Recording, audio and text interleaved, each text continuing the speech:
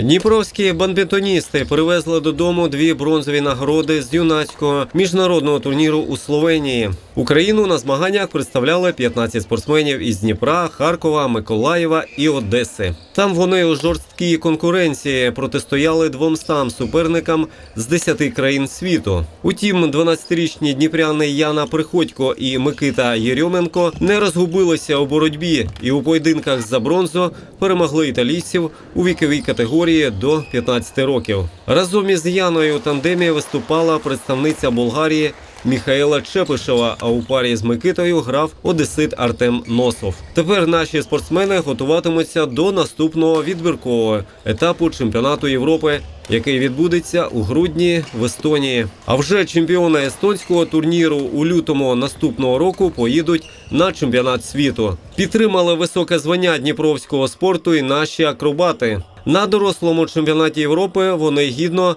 протистояли грандам спортивної акробатики з Великобританії, Бельгії, Ізраїлі, Росії, Німеччини та інших країн. Вихованці Дніпровської дюї США номер 4 19-річний Владислав Горенич і 16-річний Андрій Осадчий разом із криворіжцями Владиславом Олексєєвим і Юрієм Семеновим впевнено потрапили у фінал, де тільки лише чотирма сотими балів поступилися бронзовим призерам із Росії.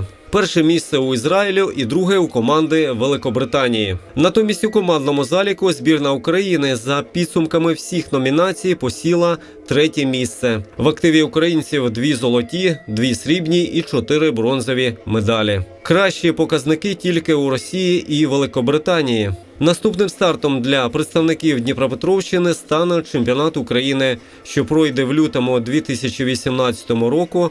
У Вінниці саме він є відбором до дорослого чемпіонату світу зі спортивної акробатики. Він відбудеться у квітні наступного року у Бельгії. В'ячеслав Куліш, Костянтин Гусаков. Новини 51-го.